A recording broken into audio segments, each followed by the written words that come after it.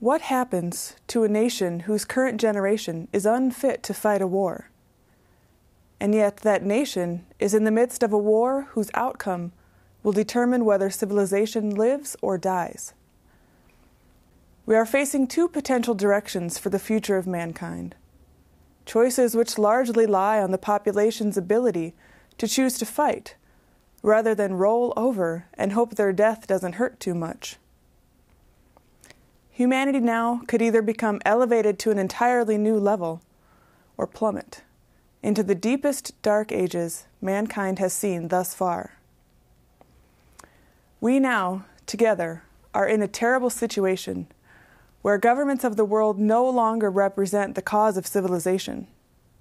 Since the November 2010 election, the U.S. population has found itself sulking in a corner licking its wounds, faced with the ugly reality of their decision to vote out of hatred for Congress rather than build up a Congress who would represent them.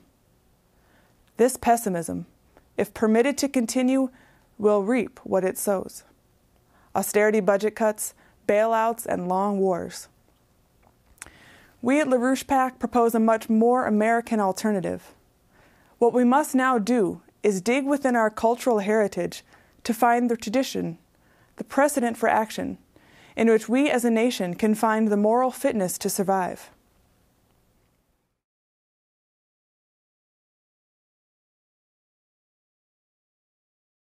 In the midst of the Great Depression, a generation came to adulthood too young tired, tired by a life characterized by a day to day scramble for survival. This was a time when, in some regions of the United States, 90% of school children were malnourished.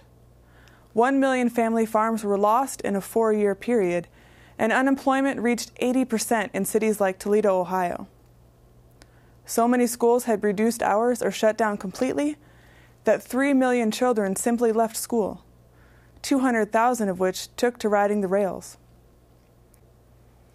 But with the election of Franklin Roosevelt and his economic team, committed to the true culture of the United States, came projects such as the Civilian Conservation Corps, which brought the forgotten man out of their dying communities and into an environment where hard work was plentiful. Skills, trades, and discipline were taught and learned.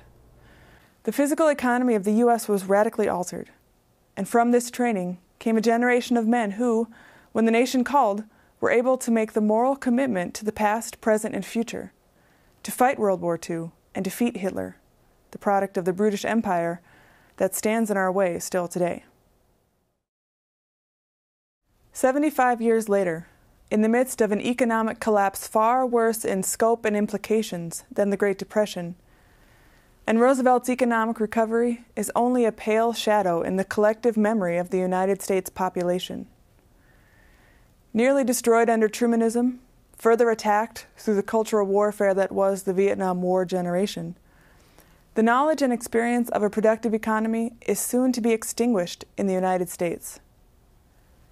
The generation now entering adulthood is so far removed from this experience that we are on the cusp of what the Egyptians warned the Greeks as their civilization was about to die out. There are no old men among you. Fortunately for us today, this is not yet quite true. Through the NAWAPA organizing that has occurred over the past four months, with the unprecedented, excited, optimistic response from the industrial skilled workforce and engineering layers in the United States, we have amassed not only a, the core of a true builders committee with the know how and expertise to begin construction and make the scientific developments required to fully implement NAWAPA, we also have the potential and desire to enter into a multi generational partnership with today's current no future generation. The current youth generation is suffering from an environmental disease. It is the disease of a generation raised in the 9 11 Bush Cheney era, a generation entering adulthood during the presidency of a psychopathic, narcissist Obama. The disease manifests itself as a generation with little commitment to life beyond their own existence, and increasingly little commitment to even their own lives, as seen by the cultural phenomenon of extreme violent acts of murder suicide, and now expanding into the realm of terrorism.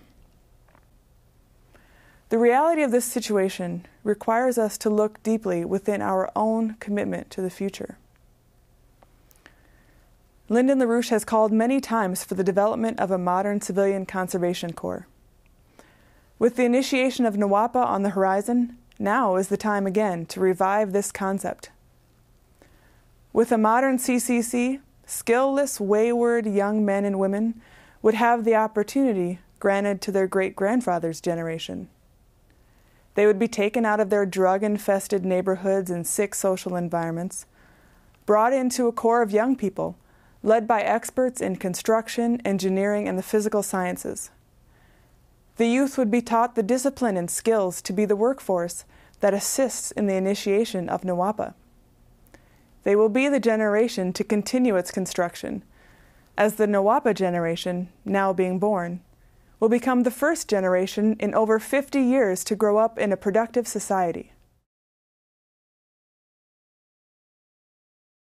Instead of a four to five generation dark age, we have the alternative ready.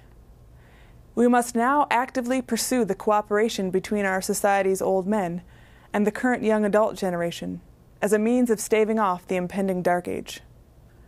You, now, must join with LaRouche PAC to fight for the measures to remove the obstacles that stand in our way of succeeding in developing a new platform for mankind. This means removing Obama, the British narcissist. This means invoking a global Glass-Steagall to shut down the bankrupt international financial system, clearing the air for a Hamiltonian credit system necessary for NAWAPA. So join with us today after inspecting Skyland, the commander-in-chief takes a seat at the head of the table to eat with the boys, and he enjoys every bite of the plain, wholesome food furnished at the camp. It's very good to be here at these Virginia CCC camps. I wish I could see them all over the country. I hope that all over the country they're in as fine condition as the camps that I've seen today. I wish that I could take a couple of months off from the White House and come down here and live with them because I know I'd get full of health the way they have. The only difference is that they've put on an average of about 12 pounds apiece since they got here, and I'm trying to take off 12 pounds.